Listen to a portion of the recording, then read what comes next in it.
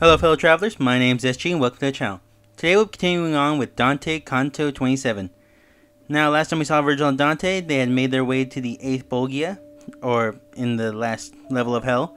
There they met Ulysses, where he was telling them the story of how he passed along with his crew and felt it was foolishness on his end. Now, we're going to continue from on from there. Uh, if you like this series, please leave a like and comment down below, and let's continue, shall we?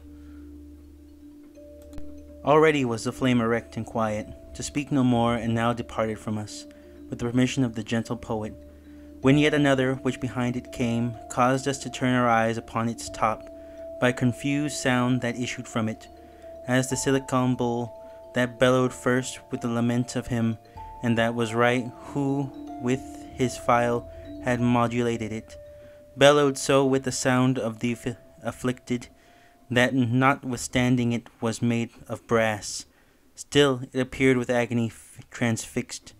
Thus, by not having any way or issue, at first from out of the fire, to its own language, converted where the melancholy words, but afterwards, when they had gathered away, up through the point giving it that vibration the tongue had given them in their passage out, we heard it said, O thou, at whom I aim my voice, and whom but now wast speaking Lombard, saying now go thy way, no more I urge thee, because I came perchance a little late to stay and speak with me, let it not irk thee, thou seest it irks not me, and I am burning.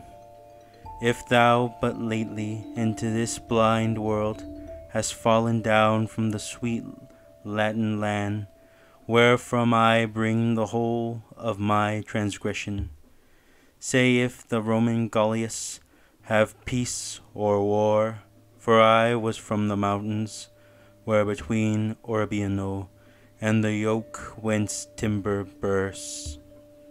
I was still downward bent and listening when my conductor touched me on the side, saying, Speak thou, this one a Latin is. And I, who had beforehand my reply in readiness, forthwith began to speak. Also, that down below there art concealed. Romagna thine is not, and never has been, without war in that bosom of its tyrants, but open war I none have left there now. Ravenna stands as it long years has stood. The eagle of Polenta there is brooding, so that she covers Cervia with her vans. The city which once made the long resistance and of the French and sanguinary heap, beneath the green paws find itself again. Verencillo, ancient mastiff, and the new, who made such bad disposal of Montagana, where they are wont make wimbles of their teeth. The city of Lamon and Santo govern the lioncel on the white lair, who changes sides twixt summer time and winter, and that of which the Savio bathes the flank, even as lies between the plain and mountain, lives between tyranny and a free state. Now I entreat thee, tell us who thou art. Be not more stubborn than the rest have been, so may thy name hold from there in the world. After the fir fire a little more had roared, in its own fashion the sharp point it moved, this way and that, and then gave forth such breath. If I believed that my reply were made to one who into the world would return, this flame without flickering would stand still. But inasmuch as never from this depth did any one return, if I hear true without fear of infamy, I answer.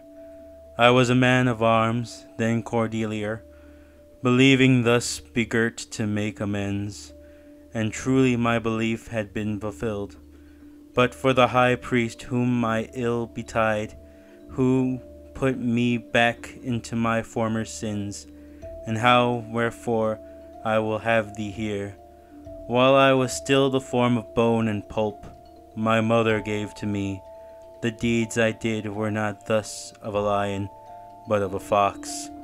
The machinations of the covert ways, I knew them all, and practiced so their craft, that to the ends of earth the sound went forth.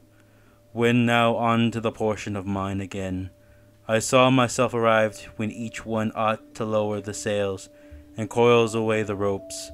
That which before had pleased me then displeased me, and patent and confessing I surrendered. Ah, woe is me, and it would have bested me, the leader of the modern Pharisees, having a war near unto Lateran, and not with Saracens, nor with the Jews. For each one of his enemies was Christian, and none of them had been to conquer Acre. Not merchandising in the Sultan land, nor the high office, nor the sacred orders, in him regarded, nor in me that cord, which used to make those girt with it more meagre. But even as Constantine sought out Sylvester to cure his leprosy within Soracte, so this one sought me out as an apt. To cure him of the fever of his pride, counsel he asked of me, and I was silent, because his words appeared inebriate. And then he said, Be not thy heart afraid, henceforth I thee absolve, and thou instruct me how to raze Palestrina to the ground. Heaven have I power to lock and to unlock, as thou dost know. Therefore the keys are two, the which of my predecessor held not dear.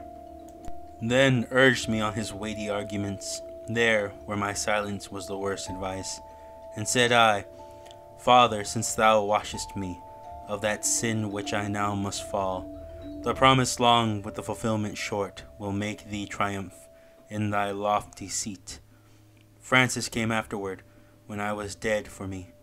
But one black cherubin said to him, Take him not, do me no wrong.